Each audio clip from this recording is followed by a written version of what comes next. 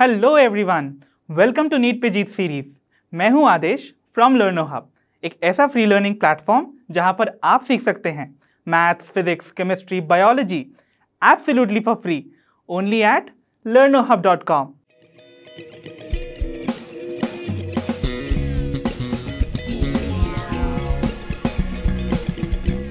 तो बच्चों, हमने अपनी पिछली वीडियो में कवर किए थे हमारे पहले चैप्टर द लिविंग वर्ल्ड के सारे इंपॉर्टेंट कॉन्सेप्ट्स को।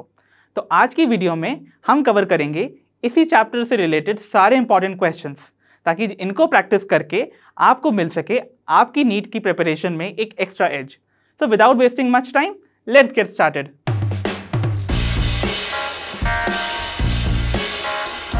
तो बच्चों, आ गया है हमारी स्क्रीन पर हमारी आज की वीडियो का पहला question which is which among the following is or are the defining properties of living organisms. So इनमें दी हुई सारी प्रॉपर्टीज़ में से कौन सी ऐसी प्रॉपर्टीज़ हैं जो कि लिविंग ऑर्गेनिज्म की डिफाइनिंग प्रॉपर्टीज़ कंसिडर की जा सकती हैं? सो so, बच्चों सो so, हमारे ऑप्शंस हैं option A reproduction option B growth option C consciousness या option D all of the above so बच्चों अगर आपने मेरा कॉन्सेप्ट एड ऑन वाला वीडियो देखा होगा तो इस क्वेश्चन का आंसर आपको आता ही होगा। So without wasting much time जल्दी से इसके आंसर को देख लेते हैं so our correct answer would be consciousness the reason is हम इन ऑप्शंस को कैसे एलिमिनेट कर सकते हैं देखिए आपको पता है कि रिप्रोडक्शन जो है वो लिविंग ऑर्गेनिज्म की डिफाइनिंग प्रॉपर्टी नहीं कंसिडर की जा सकती हमने एग्ज़ाम्पल देखे थे ना कौन कौन से एग्जाम्पल्स थे वो? हमने एग्ज़ाम्पल देखा था म्यूल का वर्कर बी का और इनफर्टाइल ह्यूमन कपल्स का, जो कि भले ही रिप्रोडक्शन नहीं कर सकते बट हैं तो वो सभी की सभी लिविंग राइट तो पहला ऑप्शन तो यहीं एलिमिनेट हो गया। और इसके एलिमिनेट होते ही जो लास्ट ऑप्शन है ऑल ऑफ़ दी अबव वो भी एलिमिनेट हो गया। क्योंकि भाई अगर एक ऑप्शन नहीं होगा तो ऑल ऑफ़ दी अबव कैसे हो सकता है राइट right? और सेकेंड ऑप्शन था हमारा ग्रोथ तो मैंने आपको पिछली ही वीडियो में कुछ एक्सेप्शन बताए कि ग्रोथ के। कुछ ऐसे भी नॉन लिविंग ऑर्गेनिजम्स हैं जो कि ग्रोथ शो करते हैं। जैसे कि आपने देखा था कैसे माउंटेन्स सैंड माउंट्स जो होते हैं, वो सरफेस पे पार्टिकल्स की डिपोजिशन होने की वजह से ग्रोथ शो करते हैं। तो क्या वो लिविंग कंसिडर किए जा सकते हैं? नहीं ना? इसीलिए हम कहते हैं growth is also not a defining property of living organisms while consciousness was the unexceptionally accepted defining property of living organisms तो चलिए चलते हैं अपने नेक्स्ट क्वेश्चन पर। तो चलिए बच्चों, अब हम स्टार्ट करते हैं हमारी आज की वीडियो का next question which is the sum total of all the chemical reactions taking place within a living organism is called, so हमसे पूछा जा रहा है, किसी भी लिविंग ऑर्गेनिज्म के अंदर हो रही सारी लिविंग रिएक्शंस के सम को हम क्या कहते हैं? तो हमारे ऑप्शंस हैं option A catabolism option B anabolism option C metabolism या ऑप्शन डी रिस्पॉन्स सो बच्चों एक एक करके सारे ऑप्शंस को जरा डिस्कस कर लेते हैं। पहला ऑप्शन है हमारा कैटाबॉलिज्म सो कैटाबॉलिज्म बॉडी की सारी वो रिएक्शंस होती हैं जिनमें कि सब्सटेंस का होता है ब्रेक डाउन यानी कि बड़े मॉलिक्यूल्स ब्रेक हो जाते हैं into smaller molecules okay so catabolism में होती हैं ब्रेक डाउन वाली सारी reactions okay second is anabolism so anabolism में हम किन रिएक्शंस को कंसिडर करेंगे भाई? एनाबॉलिज्म में हम कंसिडर करते हैं उन रिएक्शंस को जिनमें होता है सब्सटेंस का बिल्डिंग अप यानी कि छोटे छोटे मॉलिक्यूल्स जो होते हैं, वो आपस में बिल्डअप करते हैं लार्जर मॉलिक्यूल्स को। ओके सो अब हम देखते हैं हमारा third option which is metabolism metabolism होता है कैटाबॉलिज्म और एनाबॉलिज्म का ही sum so metabolism basically refers to sum of catabolism and anabolism यानी कि मेटाबॉलिज्म में हम सारी वो रिएक्शंस जिनमें कि सब्सटेंस का ब्रेकडाउन हो रहा था और सारी वो रिएक्शंस जिनमें सब्सटेंस का बिल्डिंग अप हो रहा था, उन सभी को कंसिडर करते हैं। और ये सारी रिएक्शन मिलके हमारी बॉडी की सारी रिएक्शंस को ही रिप्रेजेंट करती हैं। Okay so metabolism is basically the sum total of all the reactions which are taking place within a living organism चाहे वो बिल्डिंग अप वाली रिएक्शंस हो, यानी कि एनाबॉलिज्म हो, या फिर ब्रेक डाउन वाली रिएक्शंस हो, जिन्हें हम कैटाबॉलिक रिएक्शन या कैटाबॉलिज्म में कंसिडर करते हैं। Okay so our correct option would be option C that is metabolism last option जो है हमारा, वो है रिस्पॉन्स रिस्पॉन्स बेसिकली एक रिएक्शन होता है, जो कि हर लिविंग ऑर्गेनिज्म अपने इन्वायरमेंट में हो रहे किसी भी एक्सटर्नल या इंटरनल चेंज पर देता है। So that won't be considered as the sum of all reactions in the body so our option D is also wrong so the correct option is option C metabolism चलिए चलते हैं अपने next question पर। So बच्चों our question number three says identify the statements which is true with respect to the growth so so, growth से related ये सारी statement में से कौन सी स्टेटमेंट जो है वो ट्रू है? चलिए पढ़ते हैं एक एक करके हम सारी स्टेटमेंट्स को। So our statement number A says it is a property exclusive to living organism so growth एक ऐसी प्रॉपर्टी है जो कि सिर्फ़ और सिर्फ़ लिविंग ऑर्गेनिज्म ही शो करता है। क्या ये स्टेटमेंट सही है? नहीं। हमने एक एग्ज़ाम्पल देखा था। ऑब्वियसली आपको याद ही होगा माउंटेज ऑफ़ सैंड माउंट वाला, जिसमें कि लिविंग ऑर्गेनिज्म ना होते हुए पर भी वो ग्रोथ शो कर रहे थे। कैसे? क्योंकि उनके ऊपर हो रहा था पार्टिकल्स का डेपोजिशन इसीलिए ये जो प्रॉपर्टी है ग्रोथ की that is not only restricted to organisms there are some non living objects which also show growth okay तो चलिए चलते हैं अपनी next property which is next statement which says animals grow indefinitely क्या यह option सही है? क्या एनिमल्स जो हैं वो हमेशा ही बढ़ते रहते हैं? नहीं ना? एनिमल्स जो हैं वो ग्रो करते हैं अंटिल अ सर्टन एज जिसके बाद उनमें ऐसा नहीं होता है कि सेल्स की ग्रोथ नहीं होती है। सेल्स डेफिनेटली ग्रो करते हैं और मल्टीप्लाई करते हैं but they grow and multiply only to replace the you know worn out or the dead cells dead cells या वॉर्न आउट सेल्स को रिप्लेस करने के लिए वो ग्रोथ शो करते हैं उनके सेल्स तो इसीलिए एनिमल्स इनडेफिनेटली ग्रो नहीं करते हैं by cell division so this option is also wrong next is growth in living organisms is intrinsic ये तो हमने पढ़ा ही है। कि सारे लिविंग ऑर्गेनिज्म में जो ग्रोथ देखी जाती है, वो इंट्रेंसिक है। इंट्रेंसिक शब्द का मतलब होता है इंटरनल जैसा कि हमने पढ़ा था हमारी कॉन्सेप्ट एड ऑन वाली वीडियो में राइट सो इंटरनल ग्रोथ से क्या मतलब बताया था मैंने आपको? कि लिविंग ऑर्गेनिजम्स अपने नंबर ऑफ़ सेल्स या उसमें present living matter which is protoplasm के कंटेंट के इंक्रीज होने से बढ़ता है। Okay okay? फिर देखते हैं हम हमारा last option that is growth exhibited by plants and animal is extrinsic ये तो रॉन्ग हो गया ना? क्योंकि प्लांट्स एंड एनिमल्स हैं तो लिविंग ऑर्गेनिजम्स और लिविंग ऑर्गेनिजम्स कैसी ग्रोथ शो करते हैं? इंट्रेंसिक ग्रोथ यानी कि इंटरनल ग्रोथ तो this option is also wrong तो our correct option is option C growth in living organisms is intrinsic okay चलिए चलते हैं अपने नेक्स्ट क्वेश्चन पर. तो बच्चों, अब हम देखते हैं हमारा question number four which says which among the following pairs of properties are synonymous in case of unicellular organisms so unicellular organisms के केस में कौन सी ऐसी पेयर ऑफ़ प्रॉपर्टीज़ जो कि आपको यहाँ दे रखी हैं वो सिनोनिमस है यानी कि वो आपस में एक ही कंसिडर की जा सकती हैं। तो बच्चों ऑप्शन देखते हैं हम। हमारा ऑप्शन ए कहता है growth and metabolism option B says growth and consciousness, option C, growth and reproduction, and option D, metabolism and consciousness तो भाई, इनमें से कौन सी ऐसी पेयर्स ऑफ़ प्रॉपर्टी हैं जो कि सिर्फ़ यूनिसेल्युलर ऑर्गेनिज्म के केस में सिनोनमस यानी कि इक्विवेलेंट मानी जा सकती हैं। सो भाई बच्चों ग्रोथ एंड मेटाबॉलिज्म तो नहीं हो सकता राइट right? हमारा correct option would be option C क्योंकि भाई लिविंग ऑर्गेनिजम्स हम कहते हैं ग्रो करते हैं। ग्रो ग्रोथ का मतलब हमने देखा था तीन टर्म्स में। साइज़ का ग्रोथ हो सकता है नंबर का ग्रोथ हो सकता है और मास का ग्रोथ हो सकता है। लिविंग ऑर्गेनिज्म में जब हम यूनिसेल्युलर ऑर्गेनिज्म के बारे में कंसिडरेशन लेते हैं तो हम कहते हैं यूनिसेल्युलर ऑर्गेनिज्म बने होते हैं सिंगल सेल के। और सिंगल सेल की ग्रोथ का मतलब उनका साइज़ जो है वो बहुत बड़ा तो हो नहीं सकता।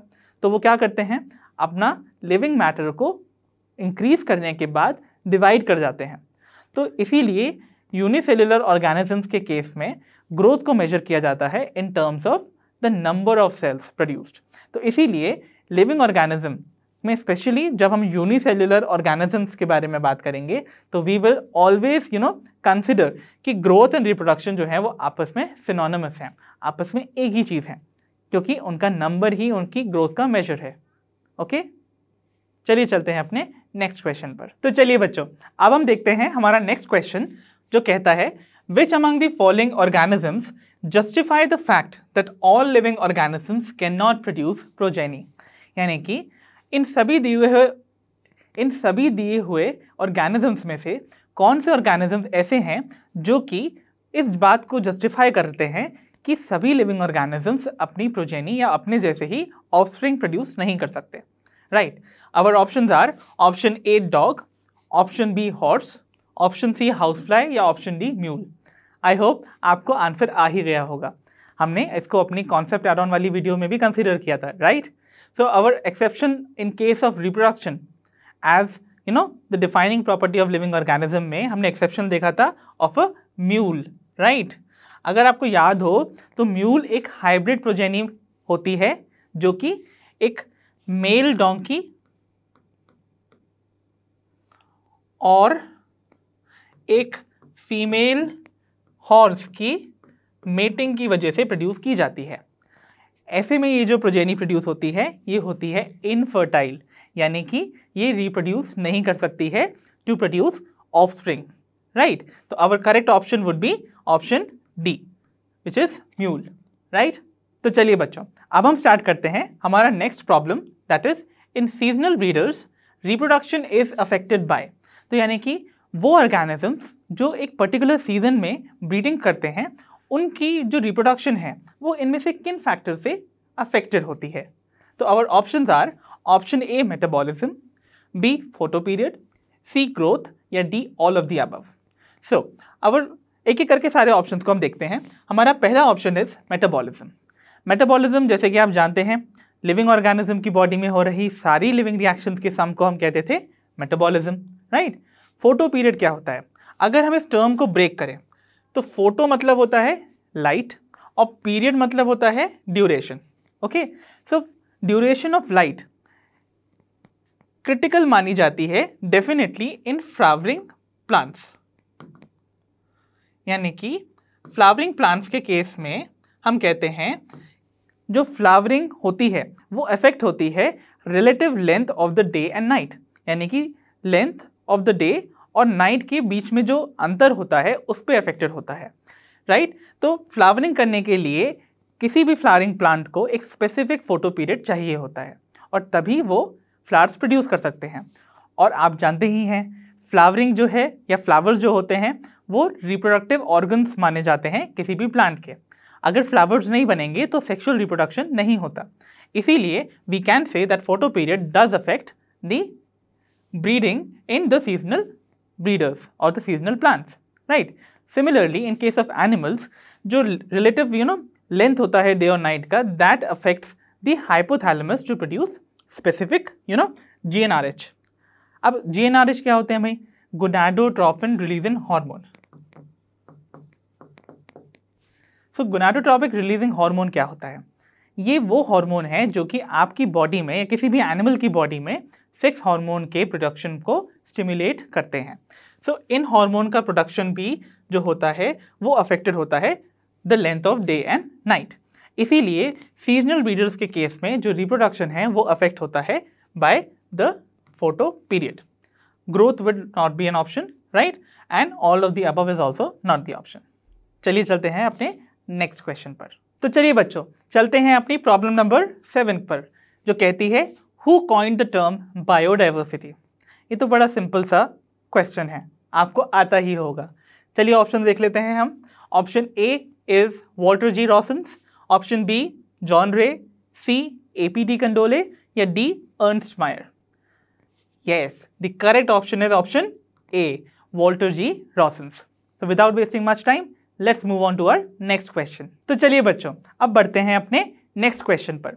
That is which among the following is not included in taxonomy तो टैक्सोनॉमी में हम किसको इंक्लूड नहीं करते हैं इन सभी ऑप्शन में से? पहला ऑप्शन है आपका nomenclature option B is characterization C classification या D account of evolutionary relationship तो ये ऑप्शन आपको एक आइडिया दे रहे होंगे कि आंसर क्या हो सकता है। बट चलिए टैक्सोनॉमी की बात आइए तो टैक्सोनॉमी के स्टेप्स को याद भी कर लेते हैं। मैंने आपको कॉन्सेप्ट एड ऑन वाली वीडियो में बताया था कि टैक्सोनॉमी के कुछ स्टेप्स होते हैं राइट जिनमें हम फोर मेजर स्टेप्स को कंसिडर करते हैं। सबसे पहले हम किसी भी लिविंग ऑर्गेनिज्म को करते हैं कैरेक्टराइज यानी कि उसके फीचर्स को करते हैं डिस्क्राइब ओके फॉलोड बाय हम क्या करेंगे उसका? आइडेंटिफिकेशन ओके देन उसके बाद हम करते हैं उसको क्लासिफाई एंड फाइनली करते हैं हम उसको एक नेम प्रोवाइड करते हैं, यानी कि उसका करते हैं नॉमिन ठीक है। तो ये सारे स्टेप्स होते थे टैक्सोनॉमी के। तो जिसमें कि आपको तीन ऑप्शंस तो यहीं दिखाई दे रहे हैं, यानी कि नॉमिन टैक्सोनॉमी में इंक्लूड होता है। तो इसीलिए हमसे तो पूछा गया है ना कि इनमें से क्या इंक्लूड नहीं होता है। तो नॉमिन इज़ ऑलरेडी इंक्लूडेड तो हम इसको यहीं एलिमिनेट कर देंगे ओके फिर हम देखते हैं कैरेक्टराइजेशन वो भी करते हैं, हमारा पहला स्टेप ही होता है। तो we also again can eliminate this option further classification भी हम करते हैं तो यानी कि ये भी करेक्ट ऑप्शन नहीं हो सकता। तो our final answer would be account of evolutionary relationship evolutionary relationship को हम एक और टर्म देते हैं which is phylogenetic relationship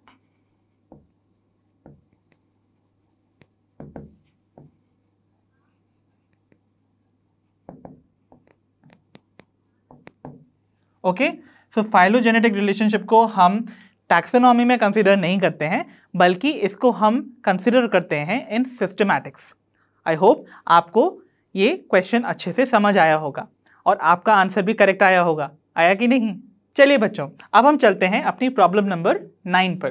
That says who is considered as the father of taxonomy तो फादर ऑफ़ टैक्सोनॉमी भाई हम किसे कंसिडर करते थे? अब ये तो आपको आता ही होगा। ऑप्शंस को फटाफट से पढ़ लेते हैं। Option A is Carolus Linnaeus option B is Ernst Mayr option C is Charles Darwin या ऑप्शन डी जॉन रे जल्दी से बताइए, क्या आंसर होगा इसका? Yes the option is option A okay तो option A is the correct answer which is Carolus Linnaeus जिन्हें हम फादर ऑफ़ टैक्सोनॉमी कंसिडर करते हैं। चलिए चलते हैं अपने नेक्स्ट क्वेश्चन पर। तो चलिए बच्चों, अब हम देखते हैं हमारी next problem which is problem number ten okay the title of the publication in which Linnaeus propose the concept of systematics is तो यानी कि कौन सा ऐसा पब्लिकेशन था जिसमें लीनियस ने अपना कॉन्सेप्ट ऑफ़ सिस्टमैटिक्स को प्रपोज किया था। यू रिमेंबर अगर आपने कॉन्सेप्ट एड ऑन वाला वीडियो देखा हो तो। चलिए पहले ऑप्शन देख लेते हैं। Option A is Genera Plantarum option B Systema Naturae C Species Plantarum या डी फिलोसफिया बुटानिका तो अगर आपने पढ़ा होगा इस चैप्टर को ध्यान से तो आपको याद होगा कि लीनियस ने सिस्टमैटिक्स जो टर्म है, जो कि लैटिन टर्म से डिराइव हुआ है विच वॉज़ सिस्टमा राइट इसको यूज़ किया था एज द टाइटल ऑफ़ इस पब्लिकेशन और कौन सा ऐसा ऑप्शन है जिसमें आपको सिस्टमा वर्ड दिखाई दे रहा है? It is Systema Naturae so the correct option would be Systema Naturae okay चलिए चलते हैं अपने नेक्स्ट क्वेश्चन पर। तो चलिए बच्चों, अब हम देखते हैं हमारा next question that is question number eleven which is Carolus Linnaeus is known for Carolus Linnaeus को हम किस लिए जानते हैं? पहला ऑप्शन है आपका proposing the binomial nomenclature option B coining the term systematics C proposing the natural system of classification या D all of the above तो भाई, अगर आप कैरलस लीनियस के बारे में कुछ फैक्ट्स जानते हैं तो आपका इसका आंसर अच्छे से आ ही जाएगा। सो ऑप्शन ए देखते हैं पहले। क्या कैरलस लीनियस ने binomial system of naming propose किया था? Yes this is correct okay क्या उन्होंने टर्म सिस्टमैटिक को भी कॉइन किया था? Yes this is also correct तो अगर आपको थर्ड ऑप्शन नहीं भी पता हो, दो ऑप्शन तो आपके करेक्ट ही हैं। इसका मतलब ऑल ऑफ़ दी अबव तो आंसर होएगा ही होएगा ना? क्योंकि थर्ड ऑप्शन के बारे में आइडिया नहीं भी हो, दो ऑप्शन ऑलरेडी करेक्ट हैं तो फिर आपको पता ही है थर्ड ऑप्शन भी करेक्ट ही होगा राइट तो फिर भी हम देख लेते हैं option C which is he propose the natural system of classification which is also correct इसीलिए हमारा final answer would be option D that is all of the above चलिए चलते हैं अपने नेक्स्ट क्वेश्चन की ओर। तो चलिए बच्चों, अब हम देखते हैं हमारी next problem which is problem number twelve which among the following scientific names is written correctly according to the rules of binomial nomenclature so binomial nomenclature के रूल्स के मुताबिक इनमें से कौन से साइंटिफिक नेम जो है, वो करेक्टली रिटन है okay so binomial nomenclature system जो था, आपको याद होगा कैरलेस लीनियस ने दिया था, जिसमें कि हम हर लिविंग ऑर्गेनिज्म को एक यू नो टू वर्ड्स वाला एक यूनिक नेम असाइन करते थे, जिससे कि वो पूरे वर्ल्ड में रिकग्नाइज किया जा सके। ओके सो क्या कॉम्पोनेंट्स होते थे बायनॉमियल नॉमिनक्लेचर के? सो बायनॉमियल नॉमिनक्लेचर करते टाइम हमें याद रखना है, किसी भी लिविंग ऑर्गेनिज्म को हम दो लेटर या दो वर्ड्स प्रोवाइड करते थे। That is the generic name जो कि बिगिन करता था with the capital letter followed by the specific epithet जो कि होता है species name okay and it should begin with a small letter okay ये होना चाहिए कैपिटल लेटर से start okay and finally even हम जिस ऑथर ने उसको पहली बार डिस्क्राइब किया था, उसका नाम भी ऐड कर देते हैं. ओके बट ऑथर का नेम ऐड करते टाइम आपको एक रूल याद रखना होता है that the author's name should be in abbreviated form okay so it should be abbreviated okay so ये तीनों कंपोनेंट्स मिलके एक कंप्लीट साइंटिफिक नेम बनाते हैं किसी भी लिविंग ऑर्गेनिज्म का। तो चलिए अपने ऑप्शन देख लेते हैं। Option A is Ocimum sanctum जिसमें कि आपका generic name is beginning with a capital letter and specific epithet is beginning with a small letter तो ये रूल तो सही चल रहा है राइट right? क्या आप जानते हैं ऑसिमम सैंक्टम बेसिकली है किस प्लांट का साइंटिफिक नेम ये साइंटिफिक नेम होता है ऑफ़ तुलसी जो कि बहुत ही सेक्रेट प्लांट माना जाता है राइट सो ऑसिमम सैंक्टम इस केस में करेक्ट चल रहा है नो डाउट यहाँ पर जेनरिक नेम बिगिन कर रहा है with a capital letter specific epithet begin कर रहा है with a small letter but it is missing in something क्या मिस हो रहा है इसमें? ऑथर का नेम जो कि अब्रीविएटेड फॉर्म में होना चाहिए. तो ये ऑप्शन इनअप्रोप्रिएट है इस पर्टिकुलर केस में. राइट तो this option would be wrong okay Ocimum sanctum देखते हैं। इस वाले केस में, यहाँ पर आपको जेनरिक नेम बिगिन कर रहा है with a capital letter correct but specific name यहाँ पर बिगिन कर रहा है विद अ कैपिटल लेटर जो कि रॉन्ग हो गया। इसीलिए दिस ऑप्शन इज़ इनकरेक्ट आगे देखते हैं। ऑप्शन सी जिसमें जेनरिक नेम बिगिन कर रहा है with a capital letter correct specific name is also beginning with a capital letter wrong इसीलिए this option is also wrong now our last option which is Ocimum sanctum जिसमें कि generic name begin कर रहा है with a capital letter specific epithet beginning with a small letter and the name of the author who describe this plant is also written in abbreviated form so the most appropriate answer is option D okay तो चलिए चलते हैं अपने next question पर. तो चलिए बच्चों, अब हम देखते हैं हमारी next problem which is problem number thirteen जो कहता है I C B N stand for ICBN का हमको फुल फॉर्म बताना है।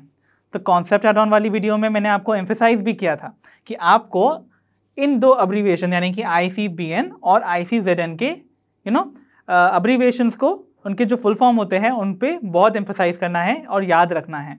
Because examination point of view से ये क्वेश्चन इंपॉर्टेंट होता है। So our option are option A Indian court for botanical nomenclature option B international congress for botanical nomenclature option C international code for botanical nomenclature या option D international code for biological nomenclature तो कौन सा option correct होगा इसमें? सोचिए सोचिए।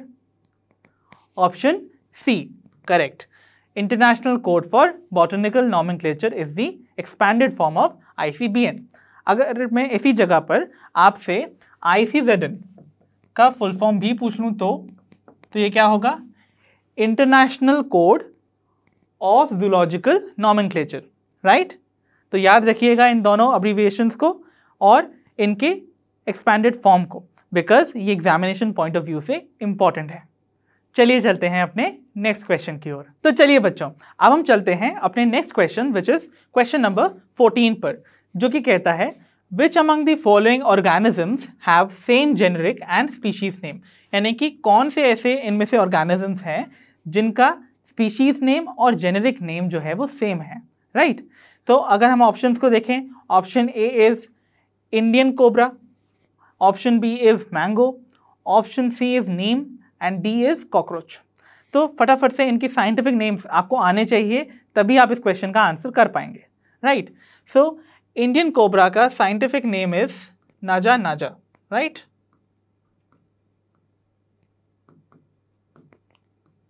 और क्योंकि हम इसको अपने हाथों से लिख रहे हैं तो they have to be underline separately okay mango का भाई क्या होता है? मैंगो का इज़ मैंगी फेरा इंडिका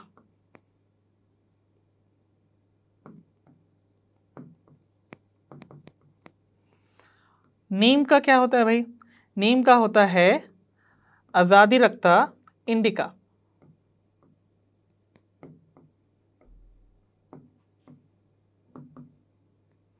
एंड कॉकरोच का क्या है भाई? कॉकरोच का साइंटिफिक नेम होता है पेरीप्लेनेटा अमेरिकाना सो इन सभी साइंटिफिक नेम्स में से कौन सा ऐसा साइंटिफिक नेम है जिसमें कि जेनेरिक नेम और स्पीशीज नेम दोनों ही सेम है? That is option A that is Indian cobra okay so ऐसे नाम या ऐसे साइंटिफिक नेम्स जिनमें जेनरिक नेम और स्पीशीज नेम एग्जैक्टली सिमिलर होते हैं, इन्हें हम क्या टर्म देते थे? याद करिए। इन्हें हम कहते थे tautonyms okay so scientific name of Indian cobra is an example of a tautonym okay चलिए चलते हैं अपने नेक्स्ट क्वेश्चन पर। तो चलिए बच्चों, अब हम देखते हैं हमारा next problem which is problem number 15 which says which among the following statements is against the rules of binomial nomenclature तो यानी कि आपको कुछ यहाँ पर स्टेटमेंट दे रखी हुई हैं, जिनमें से आपको आइडेंटिफाई करना है कौन सी स्टेटमेंट बायनॉमियल नॉमिनक्लेचर के रूल्स के अगेंस्ट है। ओके चलिए पढ़ते हैं एक एक स्टेटमेंट को और फिर फाइंड आउट करते हैं कि कौन सी ऐसी स्टेटमेंट है जो कि बायनॉमियल नॉमिनक्लेचर के रूल के अगेंस्ट चल रही है। Okay so option A is the scientific names should be underlined if handwritten ये स्टेटमेंट तो करेक्ट है ना? जब भी हम किसी ऑर्गेनिज्म का साइंटिफिक नेम अपने हाथों से लिखते हैं, तब हम जेनेरिक नेम और स्पेसिफिक एपिथेट यानी कि जो दोनों कंपोनेंट्स होते हैं, उनके नेम को अंडरलाइन करते हैं सेपरेटली तो this option is you know following the rules of binomial nomenclature तो यानी कि ये ऑप्शन तो एलिमिनेट कर सकते हैं, क्योंकि हमसे पूछा गया है कौन सा स्टेटमेंट अगेंस्ट है the binomial nomenclature so this option could be eliminated right fine अब हम देखते हैं option B that is the first name written in the scientific names represent the specific epithet and should begin with a capital letter क्या ये option सही है? देखिए, जो फ़र्स्ट नेम होता है, इस क्वेश्चन के, इस ऑप्शन के अकॉर्डिंग वो कह रहा है कि जो फ़र्स्ट नेम है, किसी भी साइंटिफिक नेम का that is representing the specific epithet क्या ये सही है? नहीं ना? This is wrong the first name of the scientific name represents what the generic name and it should begin with a capital letter तो आधी statement तो सही है that it should begin with a capital letter but the first name और the first word is not going to represent the specific epithet वो क्या represent करता है? जेनेरिक नेम को.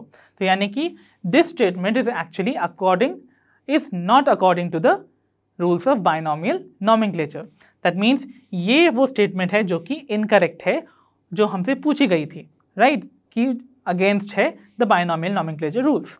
चलिए तो हम और भी ऑप्शन देख लेते हैं कि ऑप्शन सी में आपको बोला गया है if printed the scientific name should be italicise that is correct जब भी हम साइंटिफिक नेम को टाइप करते हैं या फिर प्रिंट करते हैं it should be italicise this is correct तो यानी कि this is according to the rules of binomial binomial nomenclature right तो इसीलिए हम इस ऑप्शन को एलिमिनेट कर सकते थे।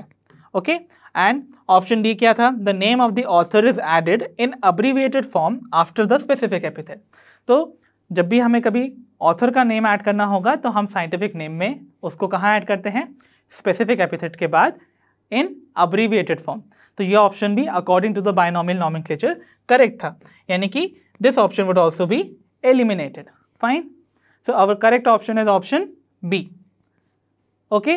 चलिए चलते हैं अपने नेक्स्ट क्वेश्चन पर। तो चलिए बच्चों, अब हम देखते हैं हमारा next problem which is problem number 16 that says family represents a group of closely related what option A order B class C genera या डी स्पीशीज तो आपको याद ही होगा, जब मैंने आपको कॉन्सेप्ट एड ऑन वाली वीडियो में बताया था कि जो बिग कैट्स होती हैं, जिन्हें हम प्लेस करते थे एक कॉमन जीनस जीनस में, जिसका नाम था पैंथेरा और जो कॉमन कैट्स होती हैं जिनको हम प्लेस करते थे एक कॉमन यू नो जेनेरा में जिसका नाम था फेलिस आपस में भाई हैं तो दोनों कैट्स ही ना चाहे बिग कैट्स हों चाहे डोमेस्टिक कैट हों.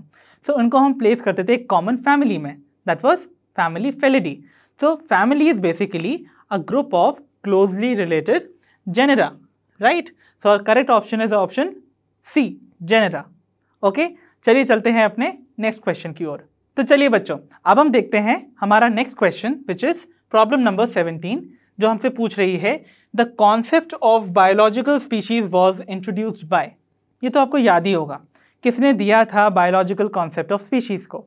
So our option are option A Charles Darwin B John Ray C Ernst Mayr या D A P de Candolle so our correct answer would be option C Ernst Mayr जिन्होंने क्या कहा था species के बारे में?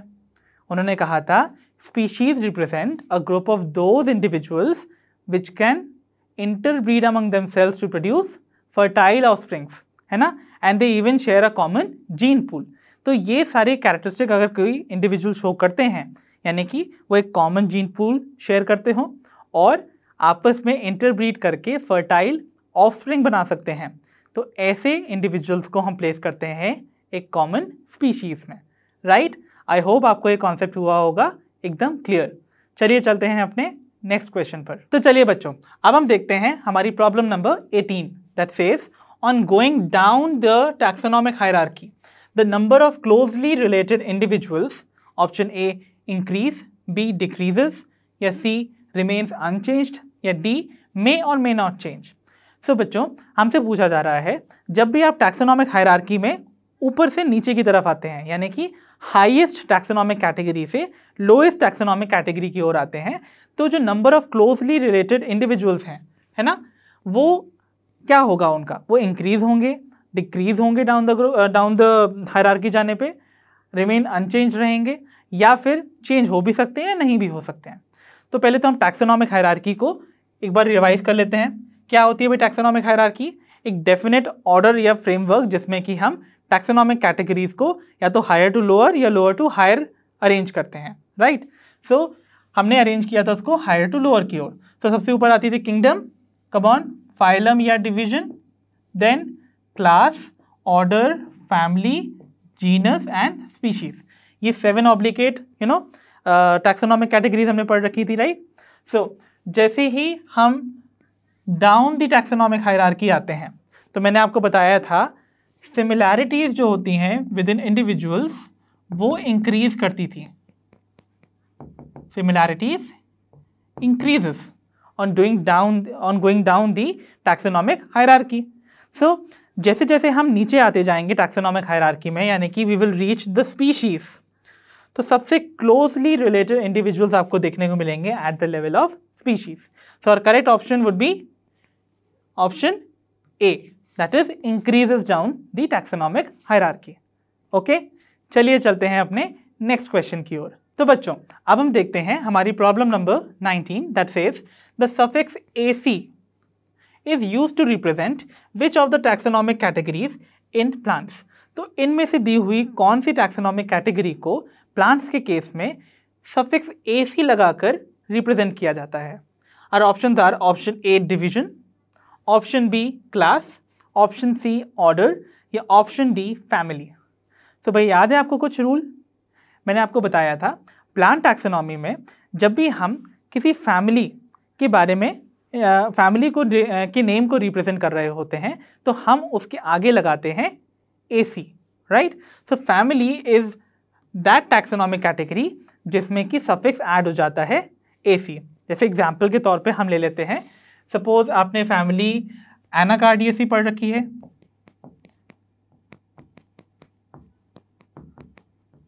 जिसमें हमने किसका एग्ज़ाम्पल लिया था?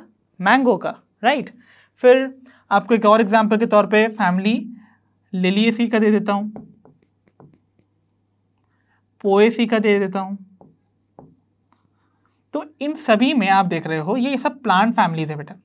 प्लांट फैमिलीज़ जो कि एंड कर रही हैं with the suffix A C ये रूल होता है in case of you know plant taxonomy कि जब भी हम किसी फैमिली को रिप्रेजेंट करेंगे तो उसके आगे एक सफिक्स लगता है ए सी वाइल ऑर्डर के केस में कौन सा सफिक्स लगता था?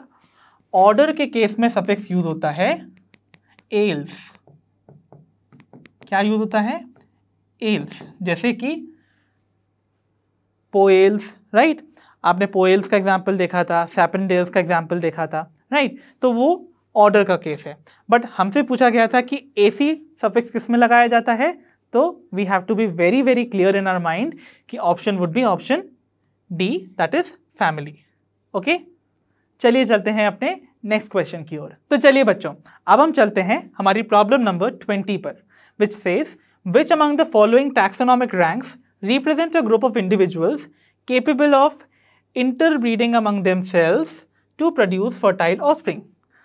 So so, ऐसे ग्रुप ऑफ़ इंडिविजुअल्स जो आपस में इंटरब्रीड करके फर्टाइल ऑफस्प्रिंग प्रोड्यूस कर सकते हैं उन्हें हम किस टैक्सोनॉमिक रैंक में रखेंगे? तो ये कॉन्सेप्ट आपको याद आ गया होगा किसने दिया था? ये कॉन्सेप्ट दिया था अर्नस्ट मायर ने। किसके लिए? स्पीशीज़ के लिए। It was called the concept of biological species तो स्पीशीज़ जो होते हैं वो क्या रिप्रेजेंट करते हैं? ग्रुप ऑफ़ दोज इंडिविजुअल्स जो कि शेयर करते हैं कॉमन जीन पूल और आपस में इंटरब्रीड कर सकते हैं टू प्रोड्यूस फर्टाइल ऑफस्प्रिंग इसीलिए the correct option would be option B species चलिए चलते हैं अपने नेक्स्ट क्वेश्चन पर. तो चलिए बच्चों, अब हम स्टार्ट करते हैं अपने प्रॉब्लम नंबर ट्वेंटी फ़र्स्ट के साथ. Okay so match the following columns and choose the correct option is what the question is asking us so यहाँ पर आपको दो कॉलम दे रखी हैं. कॉलम वन में आपको टैक्सोनॉमिक रैंक्स दे रखी हैं और कॉलम टू में आपको कुछ टैक्सा दे रखे हैं। आपको इनको मैच करना है और करेक्ट ऑप्शन को यहाँ से फाइंड आउट करना है। चलिए without wasting much time let us start so column one में जो पहला टैक्सोनॉमिक रैंक आपको दे रखा है दैट इज़ ऑर्डर और यहाँ पर अगर आप सारी डेटा को एक बार एनालाइज करेंगे तो आपको समझ में आएगा कि ये सारी इन्फॉर्मेशन जो है, वो प्लांट टैक्सोनॉमिक कैटेगरीज के बारे में ही दे रखी हैं। राइट सो अगर आप ध्यान देंगे, यहाँ पर जो टर्म है ऑर्डर और अगर आपको थोड़ा बहुत भी रूल्स पता होंगे प्लांट टैक्सोनॉमी के तो आपको ये अंदाज़ा होगा कि ऑर्डर जब भी प्लांट्स के केस में हम लिखते हैं तो उसके आगे लगता है कौन सा सफिक्स सफिक्स लगता है एल्स यानी कि our first option is going to be match to D right so हम देखेंगे फटाफट से हमारे कौन से ऑप्शन में फ़र्स्ट को डी से मैच कर रखा है। तो यानी कि हमारे पास ऑप्शन बी और ऑप्शन सी जो है, उन्हीं में फ़र्स्ट को डी से मैच किया है। इसका मतलब हम ऑप्शन ए और ऑप्शन डी को एलिमिनेट कर सकते हैं राइट right? तो अब हमको ऑप्शन बी और ऑप्शन सी में से फाइंड आउट करना है कि कौन सा ऑप्शन करेक्ट है। तो चलिए चलते हैं।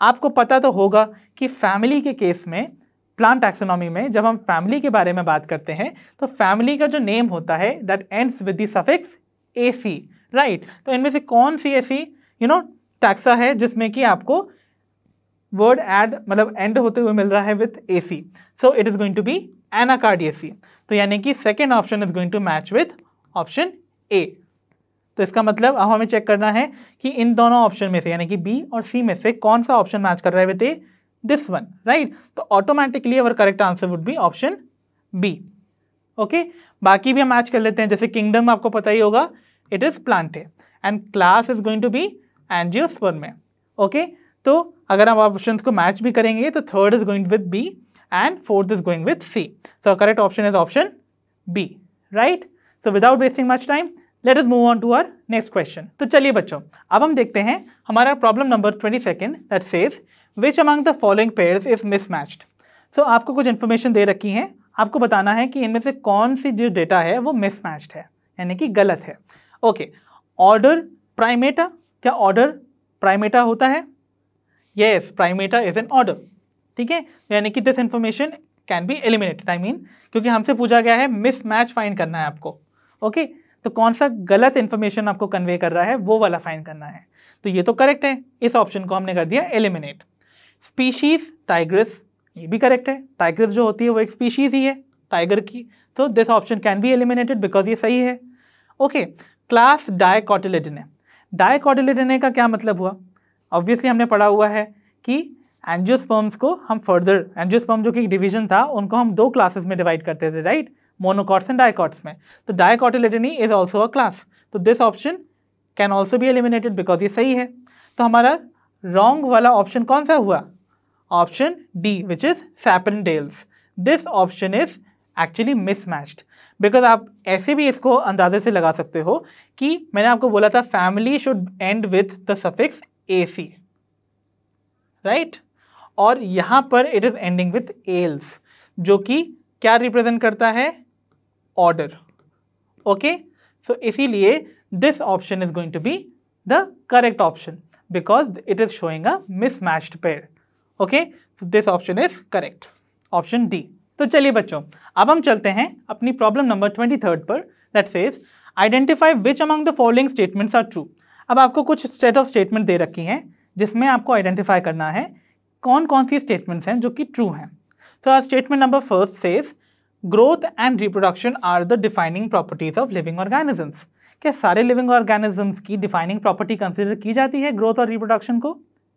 नहीं ना we had exceptions right growth के एक्सेप्शंस पे हमने माउंटेन्स और सैंड माउंट्स को कंसिडर किया था रिप्रोडक्शन के केस में हमने mules worker bee infertile human couple के एग्ज़ाम्पल को ऑफकोर्स कंसिडर किया था, जो कि एक्सेप्शंस माने जाते हैं तो यानी कि this option is this statement is incorrect okay Second statement says, binomial system of nomenclature was proposed by Carolus Linnaeus. This statement is correct. यानी कि statement number second is also correct.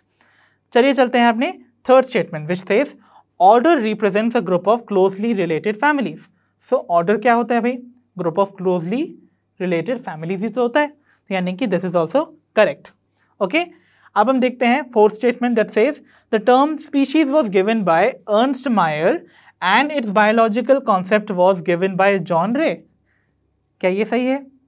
नहीं ना? यहाँ पर इंटरचेंज कर दिया गया है वर्ड्स को।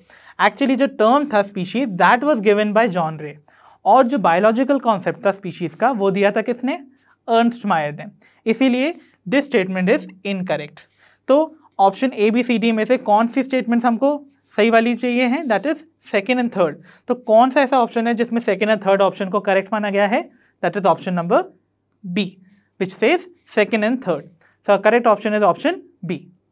चलिए चलते हैं अपने नेक्स्ट क्वेश्चन पर। तो चलिए बच्चों, अब हम बढ़ते हैं अपनी next problem which is problem number twenty four that says the framework system in which various taxonomic categories are arrange in an order of logical sequence is called so आपको पूछा गया है, एक ऐसा फ्रेमवर्क जिसमें टैक्सोनॉमिक कैटेगरीज को एक logical order में लगाया जाता है, उसे हम क्या कहते हैं? Okay so our option are option A taxonomy B classification C hierarchy या d systematics क्या होगा इसका आंसर? आप सभी को पता है। The correct option is option C hierarchy मैंने आपको बताया था टैक्सोनॉमिक हायरार्की क्या है। बेसिकली एक ऐसा फ्रेमवर्क है जिसमें कि हम टैक्सोनॉमिक कैटेगरीज को हायर टू लोअर या लोअर टू हायर फॉर्म में लगाते हैं। So the correct option is option C hierarchy चलिए बढ़ते हैं अपने नेक्स्ट क्वेश्चन की ओर। तो बच्चों, चलिए चलते हैं अपने next question that is problem number 25 पर which says which among the following taxonomic aids store plants has dried and preserved and pressed sorry specimens over sheets okay so our question is कि ऐसा कौन सा taxonomical add है जिसमें कि हम plant specimens को ड्राइड और प्रेस्ड फॉर्म में शीट्स के ऊपर प्रिजर्व करते हैं? So our option are option A key option B herbarium C botanical gardens या डी फ्लोरा सो ये चारों ऑप्शन आपके सामने हैं। और आपने अगर कॉन्सेप्ट एड ऑन वाला वीडियो देखा है तो आपको पता ही होगा इसका क्या आंसर होगा। Answer would be option B herbarium herbarium एक ऐसा टैक्सोनॉमिक एड है जहाँ पर क्या करते थे हम? अपने प्लांट स्पेसिमेन को एक शीट पर लगाकर उसको प्रेस कर देते थे, ताकि वो जब ड्राई हो जाए तो वो ड्राइड प्रिजर्व फॉर्म में प्रेस्ड फॉर्म में प्रिजर्व हो जाए। ओके और हमने बताया भी था कि हम नीचे जो होता है, एक लेबल लगाते हैं जिसमें कि हम बहुत सारी इन्फॉर्मेशन लिख देते हैं related to that plant specimen जैसे कि हम इंक्लूड करते थे डेट ऑफ़ कलेक्शन कि कब उस प्लांट को कलेक्ट किया गया, किस जगह से उसको कलेक्ट किया, वो भी लिखते थे, यानी कि place of collection botanical name लिखते थे उस प्लांट का, उसकी फैमिली उसका कॉमन नेम इनफैक्ट उसके क्या एथनो बॉटनिकल यूजेस थे, वो भी मेंशन करते हैं. तो ये सारी इन्फॉर्मेशन हम यूज़ करते हैं हर्बेरियम शीट की लेबल पे. ओके चलिए चलते हैं अपने नेक्स्ट क्वेश्चन की ओर. तो चलिए बच्चों, अब हम देखते हैं हमारा problem number twenty six that says which of the following is not mentioned on the herbarium label so ऐसी कौन सी इन्फॉर्मेशन है जो कि हर्बेरियम लेबल पर मेंशन नहीं की जाती? अभी पिछले ही स्लाइड पे मैंने आपको एक क्वेश्चन में इस बारे में डिस्कशन भी किया है कि हर्बेरियम के नीचे एक लेबल लगाया जाता है जिसमें हम क्या करते हैं? हर्बेरियम शीट पे सॉरी हर्बेरियम शीट के नीचे एक लेबल लगाते हैं जिसमें कि हम क्या करते हैं? कुछ इन्फॉर्मेशन कन्वे करते हैं या लिखते हैं जो उस पर्टिकुलर प्लांट स्पेसिमेंट से रिलेटेड होती है। सो so, हम क्या क्या इन्फॉर्मेशन जो है वो लिखते हैं, उससे पहले हम ऑप्शंस देख लेते हैं। ऑप्शन ए है हमारा name of the collector option B date and place of collection option C botanical name and family and option D height and width of the family height and width of the plant okay so ये सारे option हैं आपके पास। तो आपको याद ही होगा कि हम हमेशा जिस कलेक्टर ने उस प्लांट स्पेसिमेंट को कलेक्ट किया था, वो तो मेंशन करते ही हैं। तो यानी कि this option can be eliminated because हमसे पूछा गया है, क्या नहीं मेंशन करना है? Right? Okay date and place of collection भी मेंशन किया जाता है भाई। हर्बेरियम लेवल पे this option can also be eliminated right botanical name and family भी लिखी जाती है भाई। तो this option is also eliminated the final answer would be height and width of the plant height and width of the plant जो होता है, वो हम मेंशन नहीं करते हैं हर्बेरियम शीट की लेबल पर। ओके? okay? तो चलिए चलते हैं अपने नेक्स्ट क्वेश्चन पर। तो चलिए बच्चों, अब हमारी स्क्रीन पर आ गया है problem number twenty seven that says match the following columns and choose the correct option तो यानी कि आपको यहाँ पर दो कॉलम्स दे रखे हुए हैं, जिनकी डेटा को आपको मैच करना है और फाइंड आउट करना है correct option right so column one में आपको दे रखे हैं कुछ साइंटिफिक नेम्स जो कि आपको देखने में समझ में आ गए होंगे। और कॉलम सेकंड में आपको कुछ फैमिलीज़ दे रखी हैं बिकॉज़ आप इनके अगर सफिक्स को देखेंगे तो यहाँ पर ए लगाया गया है, जो कि प्लांट एक्सोनॉमी में फैमिली के लिए यूज़ होते हैं राइट और अगेन यहाँ पर आपने इन दो क्वेश्चंस में डी ए ई ओके जो सफिक्स होता है वो देखने को मिला। यानी कि जो कि एनिमल टैक्सोनॉमी में फैमिली के लिए ऐड किया जाता है। तो यानी कि सभी की सभी क्या हैं? फैमिलीज़ हैं। तो हमको इन जेनेरा को या इन पर्टिकुलर ऑर्गेनिजम्स को इनकी फैमिली से मैच करवाना है इस क्वेश्चन में। सो so, हमारा पहला जो क्वेश्चन है that is Triticum aestivum Triticum aestivum भाई आपने पढ़ा ही हुआ है। ये किसका साइंटिफिक नेम होता है भाई? This is the scientific name of wheat and wheat जो है belongs to the family Poaceae right so first option is going to be matching with option C तो ऑप्शन सी भाई फ़र्स्ट किसका मैच हो रहा है? ए का और डी का. तो यानी कि बी और C can be eliminated right तो ये दोनों ऑप्शन तो इनकरेक्ट यहीं पे मान आ, मान लेंगे हम लोग राइट ओके okay. अब हमारे पास ए और डी में से हमको करेक्ट ऑप्शन चूज़ करना है. तो चलिए देखते हैं.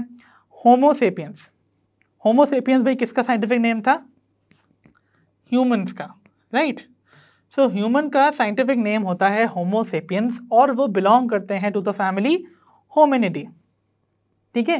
तो यानी कि सेकेंड वाले का किससे मैच हो रहा है भाई? Second option is getting match with D तो सेकेंड को हम मैच करने वाले हैं डी से। तो यहाँ पर भी डी से मैच हो रहा है बट यहाँ पर मैच नहीं हो रहा है। यानी कि option D would also get eliminated तो बेसिकली हमारा correct answer would be option A चलिए और भी मैच कर लेते हैं ताकि हम पूरी तरह से श्योर हो जाएँ कि हमारी सही मैचिंग हुई है। ओके सो so, हमारा next option was musca domestica musca domestica जो है that is the scientific name of house fly okay तो हाउस फ्लाई भाई किस फैमिली को बिलोंग करती थी? मसाइडी ओके okay, तो यानी कि our third one is going to match with A this is correct fourth is mangifera indica which is mango mango belongs to the family anacardiaceae तो this is going to match with option B so fourth is going to be matching with option B इसीलिए हम कहते हैं कि option A is correct चलिए बढ़ते हैं अपने नेक्स्ट क्वेश्चन की ओर। तो चलिए बच्चों, अब हम चलते हैं अपनी next problem which is problem number 28 पर। That says which among the following taxonomic aid stores life plant specimens for reference तो इनमें से कौन सी ऐसी टैक्सोनॉमिक एड है जिसमें कि हम लाइव प्लांट स्पेसिमेंट्स को रेफरेंस के लिए यूज़ करते हैं? हमने पढ़ी रखा है।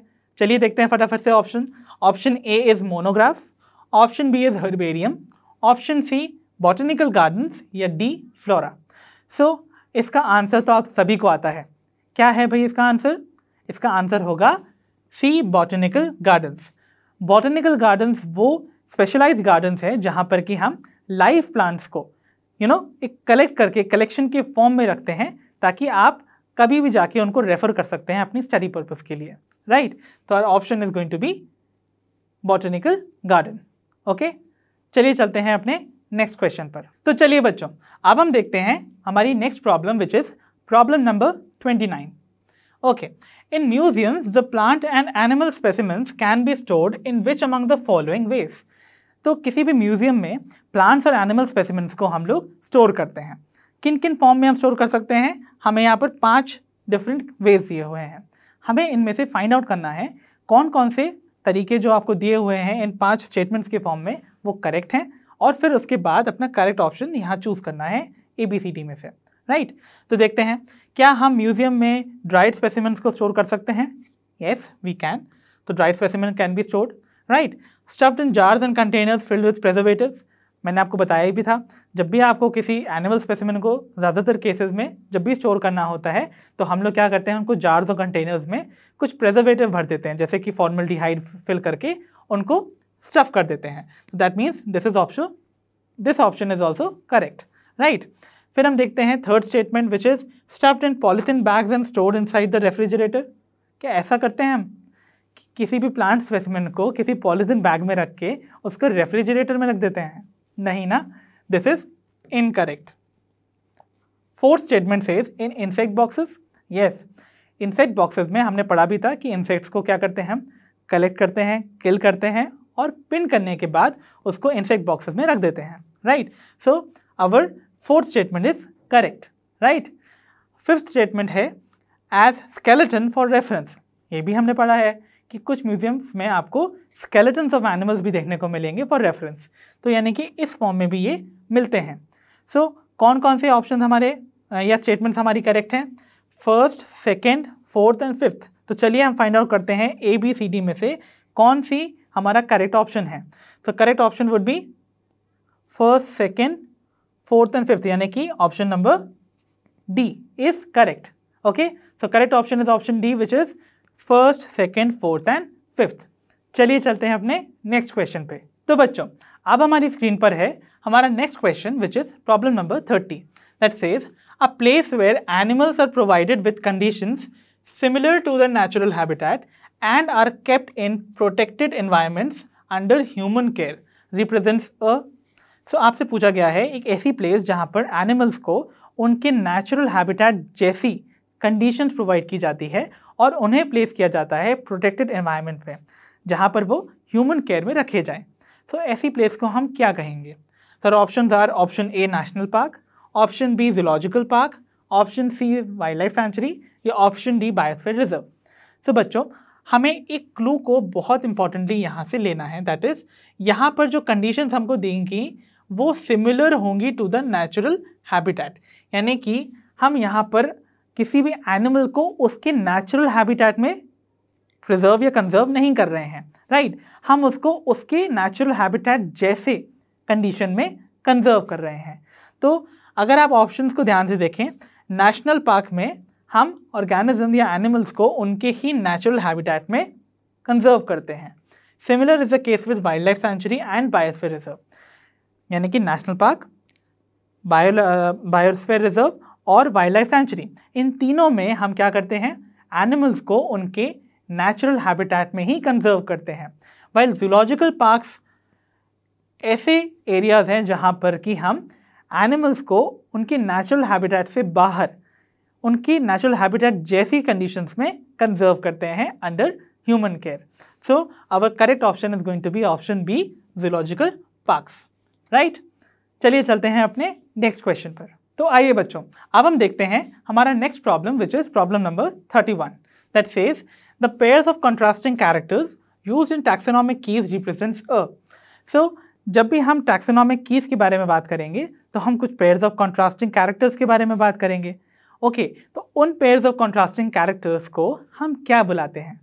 So our option are option A couplet option B lead option C statement या ऑप्शन डी टॉटोनेंस सो फटाफट से याद करने की कोशिश कीजिए।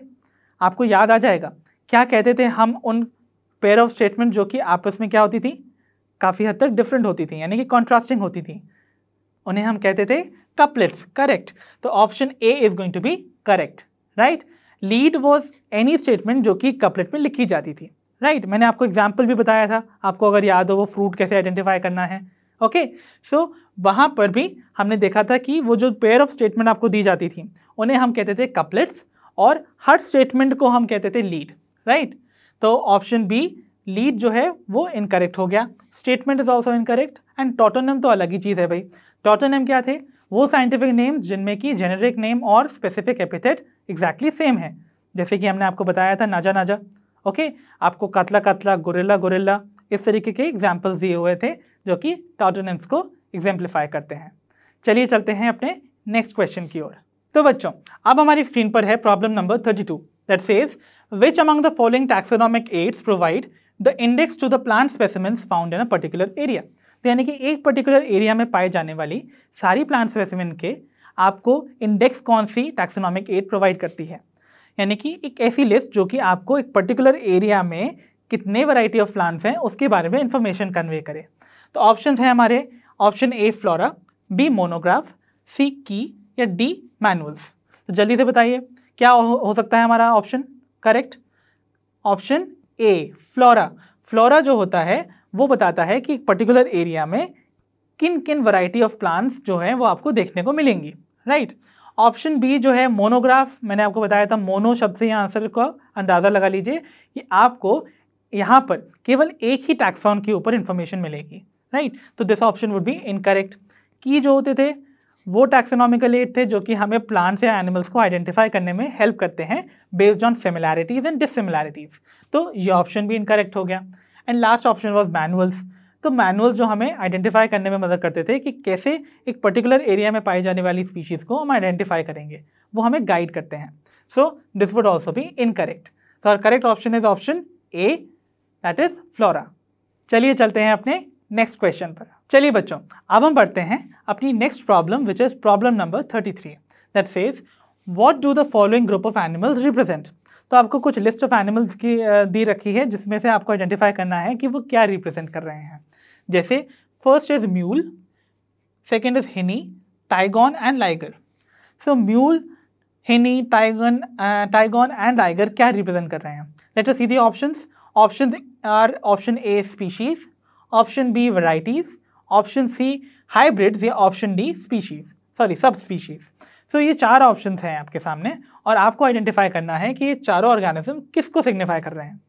So our correct option would be option option C that is hybrids तो आपने एग्जाम्पल्स के तौर पे इनको याद भी रखा होगा आई होप जैसे मैंने आपको बोला था कि जो म्यूल होता है mule was a progeny hybrid progeny, जो कि मेल डोंकी और फीमेल हॉर्स के मेटिंग से प्रोड्यूस होती है राइट हिनी के केस में क्या है भाई?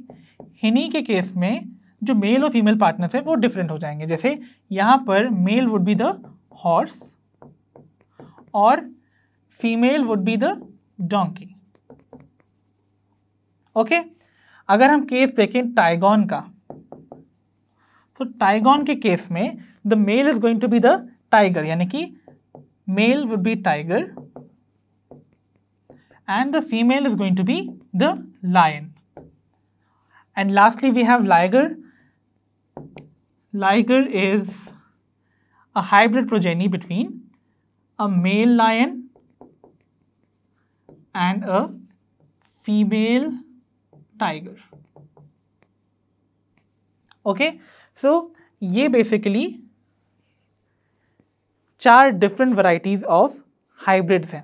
Okay okay? ये चार डिफरेंट हाइब्रिड्स हैं जो कि एग्जिस्ट करते हैं.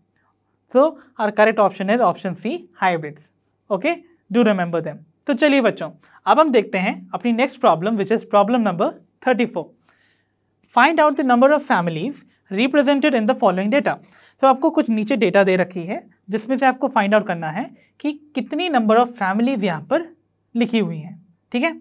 तो जल्दी से आइडेंटिफाई करते हैं हम। तो मैंने आपको बोला है आइडेंटिफिकेशन बस सिर्फ़ सफिक्स से मिल जाएगा आपको। जैसे प्लांट्स फैमिली के केस में आपको क्या सफिक्स देखने को मिलेगा आगे? A C and animal families के केस में आपको क्या देखने को मिलेगा? That is T A okay तो फटाफट से आइडेंटिफाई करते हैं इनमें से कितनी जो है वो फैमिलीज़ रिप्रेजेंट की गई हुई हैं। तो देखिए, पहली है हमारी लिलिएसी जिसमें आपको एसी देखने को मिल रहा है। That means this is a family right second is apocynaceae again A C word is use that means this is our second family hominidae यानी कि डी ए ई देखने को मिल रहा है।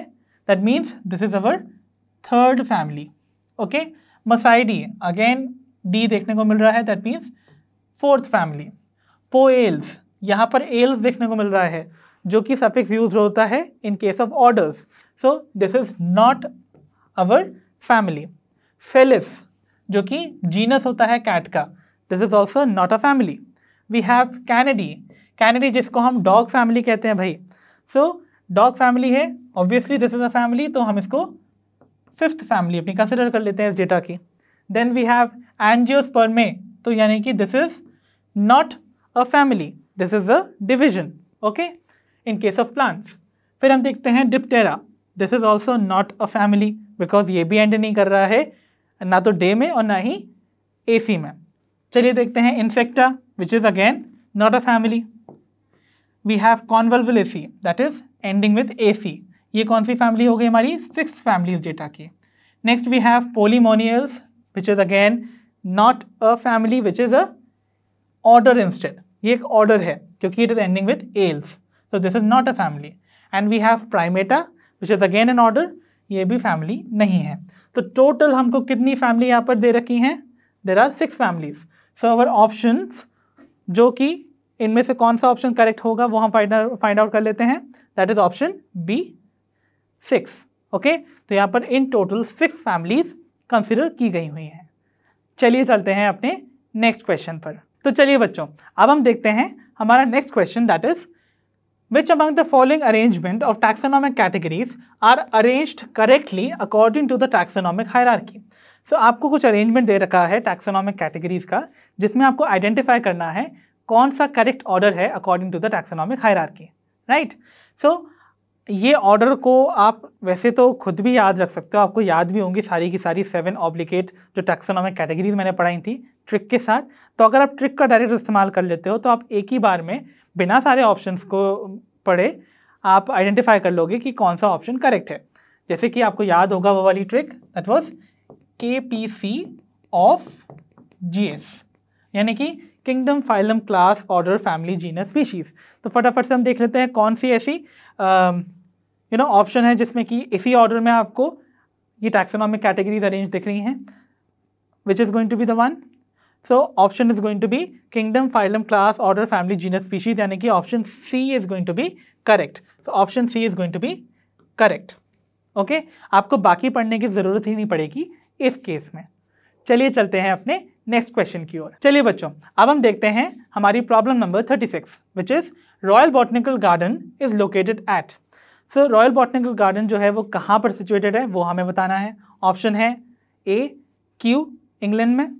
ऑप्शन बी हावड़ा इंडिया में। ऑप्शन सी फ्रांस या option D Paris तो royal botanical garden is famous because it is the largest botanical garden in the world और ये कहाँ पर सिचुएटेड है भाई? It is situated at Kew England so option A is correct चलिए चलते हैं अपने नेक्स्ट क्वेश्चन पर। चलिए बच्चों अब हम देखते हैं हमारा next problem which is problem number thirty seven that says the number of obligate categories which are always use in a taxonomic hierarchy are कितनी है भाई? ऐसी टैक्सोनॉमिक कैटेगरीज जो कि किसी भी टैक्सोनॉमिक हायरार्की में मस्ट इंक्लूड होती हैं। यानी कि वो हमेशा कंपल्सरीली इंक्लूड की जानी चाहिए। सो so, हमने वो सारी की सारी पढ़ रखी है विद द ट्रिक तो अगर आपको याद है वो ट्रिक अभी जैसे मैंने पिछले स्लाइड में आपको बताया था तो आप उसको डायरेक्टली काउंट कर सकते हैं. जैसे मैं आपको फिंगर टिप्स पे काउंट करा देता हूँ. We have kingdom phylum class order family genus and species तो कितनी हुई भाई? सेवन ऑब्लिगेट टैक्सोनॉमिक कैटेगरीज जिनको कि हम यूज़ करते हैं. So our correct option is going to be option D that is seven चलिए चलते हैं अपने नेक्स्ट क्वेश्चन की ओर.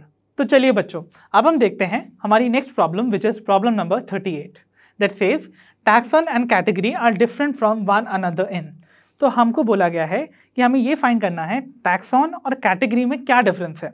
तो इन स्टेटमेंट से हमें आइडेंटिफाई करना है भाई।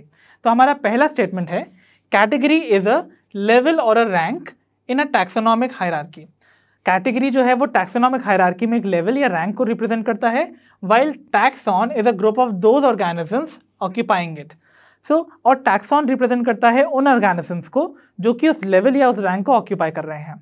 इसको हम एग्ज़ाम्पल के तौर पे वो ये स्कूल वाला एग्ज़ाम्पल याद ले लेते हैं। जैसे आपके स्कूल में कितनी सारी टैक्सोनॉमिक कैटेगरीज थी? प्रिंसिपल की वाइस प्रिंसिपल की कोऑर्डिनेटर की टीचर्स की और स्टूडेंट्स की। तो जो आ, ये जो पोजीशंस हैं ये क्या रिप्रेजेंट कर रही हैं? टैक्सोनॉमिक कैटेगरी या फिर रैंक या लेवल को राइट और उसमें बैठा हुआ, उस पोजीशन पे बैठा हुआ जो पर्सन है, वो रिप्रेजेंट करता है टैक्सॉन को।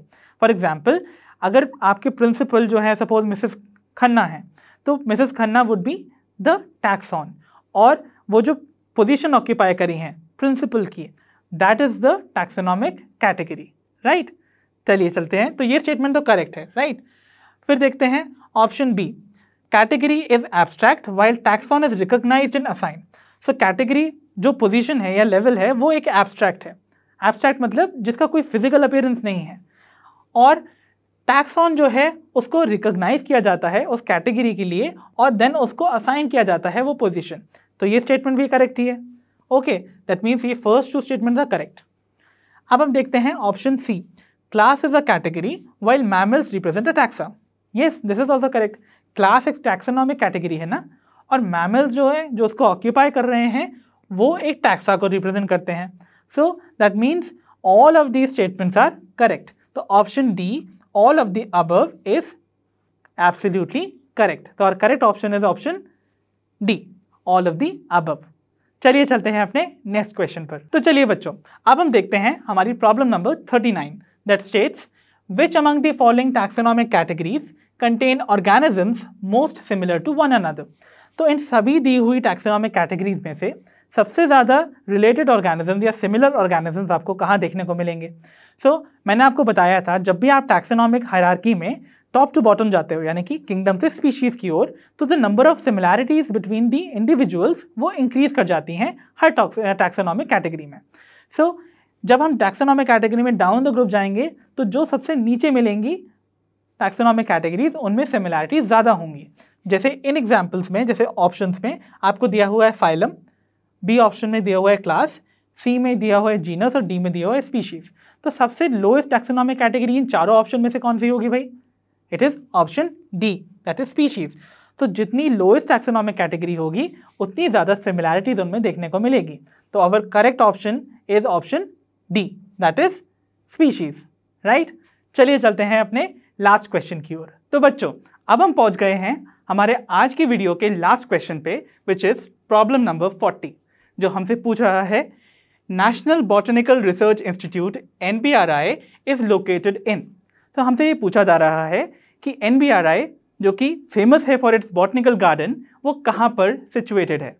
So our option are option A Bengaluru option B Chennai option C Lucknow या option D Hyderabad so so, अगर आपने हमारी कॉन्सेप्ट अराउंड वाली वीडियो देखी होगी तो आपको पता ही होगा कि इसका आंसर है ऑप्शन सी लखनऊ तो बच्चों आज की इस वीडियो में हमने कवर किए हमारी नीट बायोलॉजी के पहले चैप्टर द लिविंग वर्ल्ड के सारे इंपॉर्टेंट क्वेश्चंस को. मुझे पूरी उम्मीद है आप सभी को सारे क्वेश्चंस बहुत आसान लगे होंगे और आपको एक बार में उन सबके आंसर्स आ चुके होंगे. Right right? सो so, अब हम मिलेंगे अपनी नेक्स्ट वीडियो में. तब तक के लिए आप सभी जानते हैं लर्नो हम मतलब फ्री है पर बेस्ट है.